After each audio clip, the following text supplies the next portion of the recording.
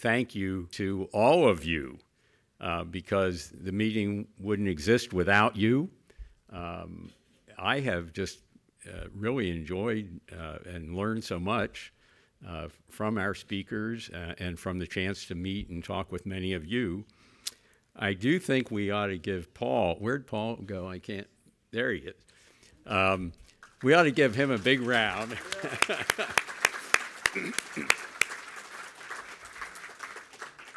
so you just did an incredible job, and thank you very much. Um, and the other thing I know about Paul, and may not have really come out in the meeting, is he's an incredible researcher.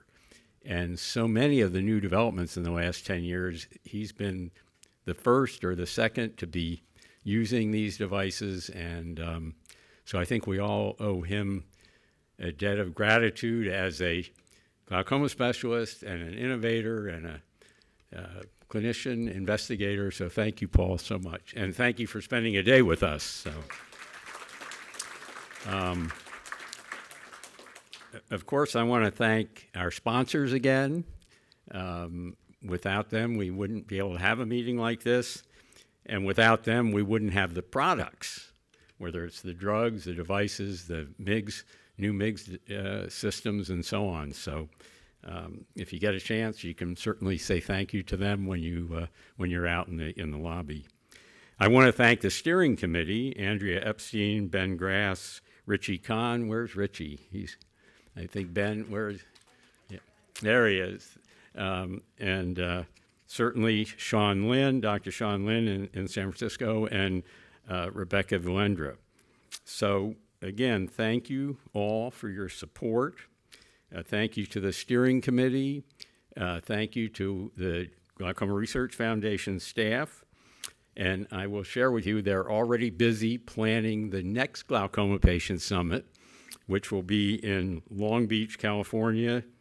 Mark your calendars, June 24th, so a day yesterday, uh, 2023. And I hope to see all of, the, all of you there. And I do have one um, sort of homework assignment, and, and I'm, I'm so delighted. Uh, I had a couple of complaints um, during the meeting. And the basic complaint was, why aren't there more people here? And I, so I tried to be apologetic and say, well, you know, it's still a little COVID time and people are reluctant to travel and everything. But I think a lot of it is people really, despite all our best efforts, didn't necessarily even know about the meeting. So please tell your friends to come to Long Beach, bring them with you, and let's make sure we have a huge turnout in Long Beach uh, for these wonderful presentations. And uh, as I said, um, we're very grateful to all of you to uh, sharing your journeys with us, uh, to being our friends. And um, I just also have to mention that, that the support from grateful patients and from Friends of Glaucoma Research Foundation is what makes it possible. We get zero dollars from the federal government or from any government for that matter. Um, and every year we, we don't have a big endowment. We have to raise the money to fund our activities and our research each year. And that's uh, part of our challenge and frankly part of our fun because getting to know our different donors and to interact with them is, is probably the, the, some of the best part of my job.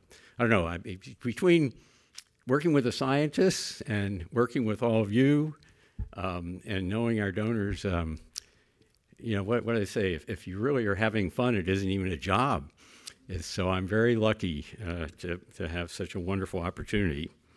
Um, each and every day does really bring us closer to a cure. We are really making progress. Um, it is amazing. You, you saw one slide that showed in an animal where they actually could cut the optic nerve and then it could regrow and the animal actually had usable vision. That's pretty impressive. It doesn't mean it's going to happen next week in a person, but it means it's at least possible. And my, my philosophy has always been if you don't try it, you're never going to get there. But if you keep working on it, I think, and I will tell you, I will share with you, the scientists that, with whom we work are themselves thinking we may really be able to do this. We may be able to not only protect those ganglion cells, but potentially replace them. And that would be huge. And um, so I hope that gives you some of the hope that uh, uh, our psychologist friend just talked about. It certainly makes my day um, and gives me hope uh, for, for all of you and for the society in general. So I've gone on too long here, but um, thank you for being with us and thank you for your support. And um, together, let's, uh, let's cure glaucoma. So look forward to seeing you again before long.